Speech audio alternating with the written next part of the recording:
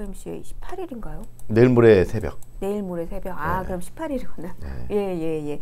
어, 일단은 그때까지는 좀 움직이기 쉽지 않을 거라고 예상을 했었는데 그 사이에 유가가 좀 큰 변수가 될지가 궁금해요.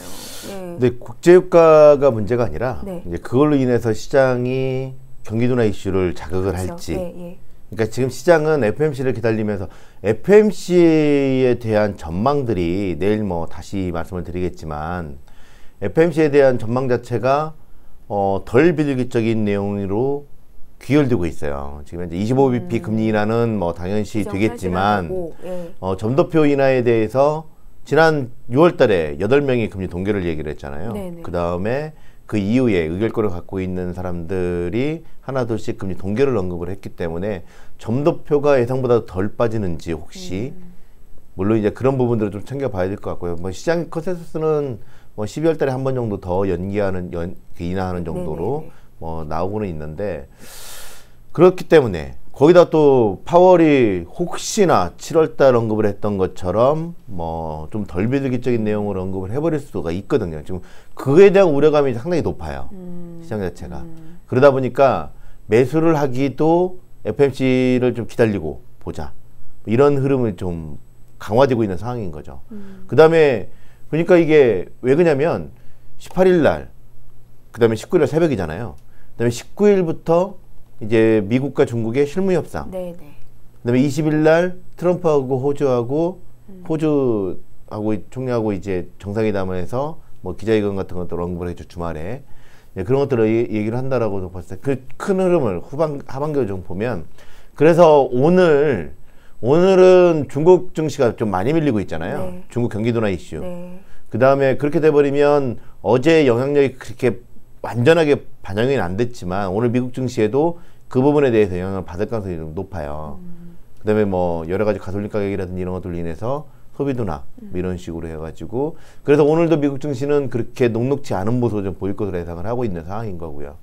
그런 상황에서 만약에 FMC에서 덜 비득이적인 내용이 나온다. 시장이 좀 뭐 출렁거리겠죠. 네. 그렇지만 이제 그 다음 날부터 시작되는. 무역 협상에서 지금 현재까지 나온 컨센서스만 놓고 본다면 뭐 아직까지는 뭐 음. 구체적인 합의 가능성은 높진 않지만 그래도 스몰딜에 관련된 코멘트들을 뭐 나온다라면 농산물은 사주고 음. 뭐 뭐는 받고 그렇게. 된다라면 네. 대체적으로 뭐 주 후반에 변동성을 좀 키울 수는 있어요. 목요일 날, 금요일 날. 네. 음. 그렇지만 이제 주말이 넘어가면서 미중 무역 분쟁 이슈로 이제 음. 귀결이 되면서 다시 이제 다음 주에는 좀 반등을 줄 수는 있는데 그렇다고 해서 상승을 하기에도 좀 부담이 돼요. 음. 왜 그러냐면 관세가 계속적으로 이어지고 있는 가, 있다라면 시장은 부담을 가질 수밖에 없거든요.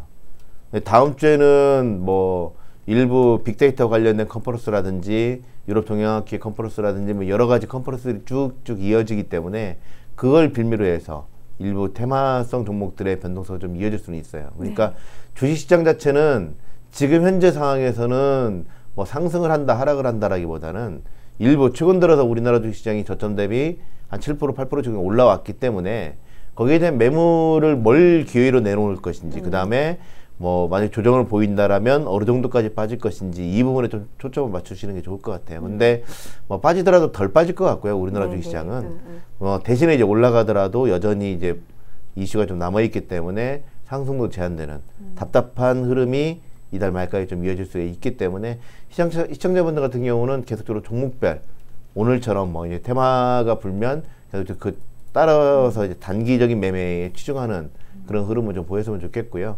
만약에 보유하고 계신 종목들이 갖고 있으면 뭐 어쩔 수 어쩔 수 없죠. 뭐 갖고 가야죠.